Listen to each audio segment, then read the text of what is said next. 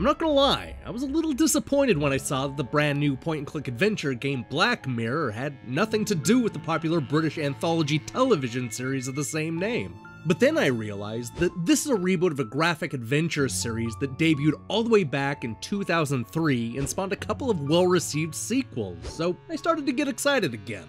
As a reboot, this game does a good job of pushing the reset button and reintroducing us to the cursed Gordon family.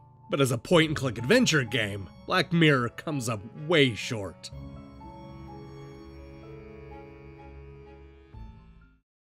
Set decades before the previous three installments, Black Mirror is a slow burn horror game that takes its cues from the stories of Edgar Allan Poe. We're introduced to David Gordon, who returns to Scotland after years abroad in order to take ownership of a creepy old castle that has been the family for centuries. He's eager to learn more about his late father, who apparently had some sort of violent mental breakdown and left the estate in disarray. It's up to David to explore the spooky castle, get to know all the people that live there, and investigate the mysteries of the Gordon clan. I don't think I'm giving anything away by saying that this is a ghost story. Our hero quickly realizes that he's able to see people and things that others can't, sort of like that kid from The Sixth Sense. And like all ghost stories, we discover that these spirits are trying to tell us something. This sets up a fun little quest to unearth the family secrets and solve the ghost problem. What we have here is a painfully straightforward graphic adventure game where you wander around the mansion picking up items, get into conversations, and solve nonsensical puzzles. A lot of this revolves around finding clues and grilling the staff for information. This eventually spills out into the garden and surrounding areas, giving David even more tools for his investigation. Black Mirror is one of those games where the setup is a lot more compelling than the payoff. The problem is the story is surprisingly predictable, to the point where I guessed would die based solely on their first few lines of dialogue. It's also not especially scary. The ghost story turns out to be sad and morbid, but never terrifying for the player. The few twists the game delivers only worked against the intriguing setup, leading to a lackluster final act. Unfortunately, the storytelling is the least of Black Mirror's problems. From a technical standpoint, this game has issues. Lots of issues. It's common to see parts of the castle walls and floors flicker in and out of existence at random times. Worse yet, I ended up having to restart the second chapter all over again because the game kept crashing on me. I got to the point where I couldn't even reload certain save files without it crashing. Couple this with the terrible frame rate problems and load times that are at least four times longer than they should be, and you have a game in serious need of patching.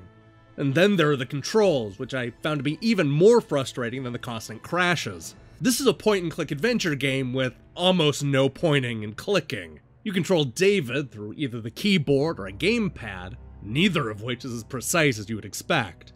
It's far too easy to get stuck in the backgrounds or not be able to interact with something because you're not facing the exact right direction.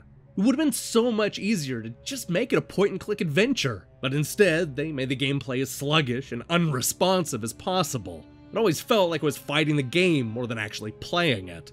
The ugly visuals and bland locations certainly doesn't help. I found wandering around the dark castle to be a real snooze, and the surrounding area isn't much better. There are a few times the game plays with reality in exciting ways, but don't blink or you might miss them. Simply put, Black Mirror looks dated. Now this is especially surprising given the developer's track record. KingArt is the team behind the Book of Unwritten Tales 1 and 2, both of which are set in a fully realized fairy tale world that is just bursting with personality.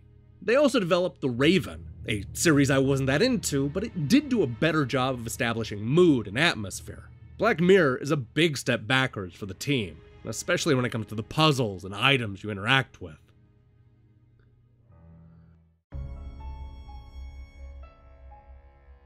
Neither scary nor original, Black Mirror is a painfully predictable point-and-click adventure game with nothing new to say.